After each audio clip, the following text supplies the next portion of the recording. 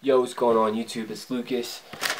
I'm gonna get right into it. I'm two weeks clean off of weed. Um, it's been there's been ups and downs, that's for sure. Um, I need to speak from my personal experience. I need to also say that I'm an advocate for marijuana, weed, cannabis, whatever you want to call it. I think it should be legal. I think people that are old enough to buy it should have access to it. I believe it helps some people and hurts others.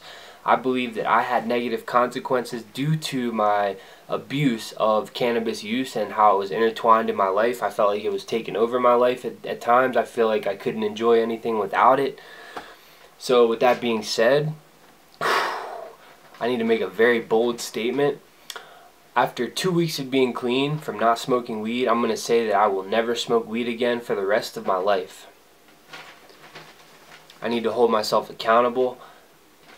I think I, I put immense pressure on myself how it is and me making a statement like that on video just adds to it and I love pressure and I'm all or nothing. I have an addictive personality and I'm done with weed. So, some reasons. Actually, you know what? Before I get to the reasons, let me just tell you how the last two weeks have gone. So, the first day, rough Okay, the first the first um, 24 hours without weed, I was craving it bad, craving nicotine and weed at the same time because I was still getting a little bit of nicotine with the blunt, and um, yeah, so that uh, that was a little rough. I was coughing a lot for the first three to four days. I think you know I was definitely coughing, but I would go to the trash can and just spit it. You know, just you know I I knew that it was my lungs healing themselves or, or my throat, whatever Oh, my dreams, vivid, very extremely vivid to the point where I could go all day and just remember what I dreamed about the night before or dreamt about the night before and not forget a single thing that happened in my dreams. And a lot of my dreams were about me giving up weed, which is just crazy. And um, very, very vivid dreams. So I started eating healthier. I, I ate a lot of blueberries and kale and drank a lot of water. You've got to drink a lot of water if you're going to give up weed, you know. And I just believe that it had negative consequences on me personally, so I'm just speaking from my experience. I'm giving it up for life. I'm saying this after two weeks of not having it. After eight years of smoking, I'm 23. I started smoking when I was like 14, 15 and after two weeks of being clean, I can tell you that I won't touch it again for the rest of my life. Some reasons why. My breathing, a lot more cleaner than it was. No more tar in my lungs. Increased oxygen levels. That's great.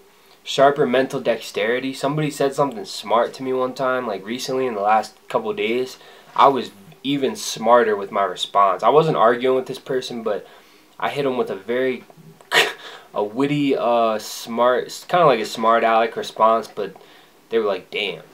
You know, I, I don't think I would have done that if I was high or smoking. Uh, you'll have more free time. That's definitely, a, I can vouch for that. Your diet's going to improve, you know, no more munchies. The munchies are real. You know, your brain's just constantly telling you that you're not full, and trust me, you're, you're full.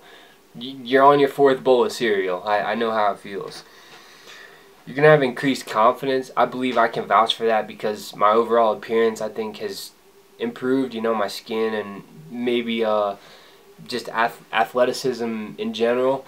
Um, increased in creativity. You know, I make music and beats, so this one.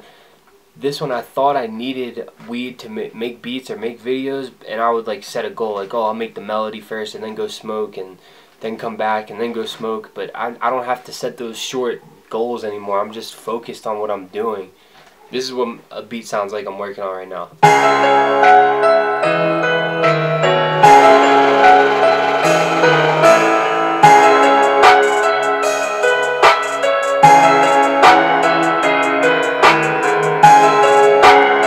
So it's not done yet, but I made that sober in, in like 45 minutes with no weed and like that was great.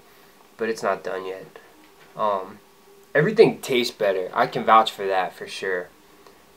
Uh, more of an ability to relax. I thought I needed weed to, to sleep and to relax. I don't. You know, I'm feeling like a natural high every day. Um, let's see. No risk of legal problems, you know. I know it's going to be legal soon and probably in all 50 states. I feel bad for the kids. They don't know what the hell to believe, you know. But the legal problems, at least for me, you know, it's, it's no mas. The ability to sleep and wake up easier, definitely. No, or I shouldn't say no health problems, less, less of a risk of health problems no more having to score weed, no more having to look for it, to buy it, to sell it, to support your habit like I was doing at one point. Just more time for yourself. You you'll have deeper relationships with everyone. You'll have more money. You're gonna care more for other people. This is huge for me because I feel like one of my purposes in life is to give back, and I need to care for others sometimes more than I even care for myself. I need to start doing that more. Uh, you'll look happier and healthier. I can vouch for that. My skin is kind of cleared up a little bit, but I'm 23 and I'm still breaking out, so I don't know what's up with that. I probably got to lay off the tagalongs or something because I bought some Girl Scout cookies not too long ago.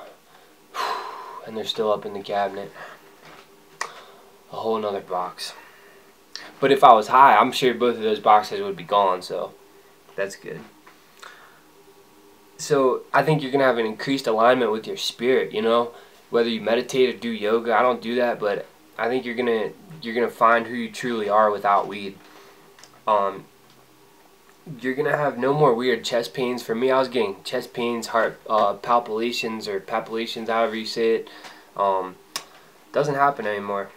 No more caring about what other people think. You know, there's there's times where you smoke, and for me, you know, at least I would I'd be high, and I wouldn't want to run into some people or you know those people that you just don't want to be around when you're high you'd worry about seeing them or whatever. No more of that. So forgotten memories come back you know? Your dream especially dreams you know? It crazy. Improved sense of hearing i can vouch for that. So those are some of my reasons right there and i also made this let me see so I wrote I wrote down some notes when I got cravings, and I'll just summarize them. So most of my cravings lasted five to fifteen minutes. Um, the longest being 15 minutes, the shortest being five. I can tell you from two weeks in, 15 days sober, the cravings have almost gone away completely, but the temptation is still there to go get it and to go, man, you know, I wish I had a blunt right now or something like that. So your car is going to be cleaner, your clothes are going to smell better. You know? Anxiety and depression might come and go with this um with giving up weed. So just keep that in mind. Put the alcohol down for a while. If you do drink alcohol. And this is my Operation Stop Operation Stop Smoking paper that I made for myself. This is what it says. And I, I have to write my goals down so I I like keep myself accountable. How do I really stop? Just do it.